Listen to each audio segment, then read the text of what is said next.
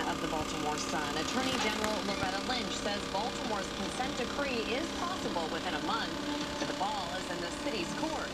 Tom Perez announces a run for Democratic Party chair, and the trial opens for a Baltimore father charged in the death of his daughter left in a hot car. For all these stories and a whole lot more, read tomorrow's Baltimore Sun. Remember to look for the updated forecast from WJZ's First Morning Weather Team. The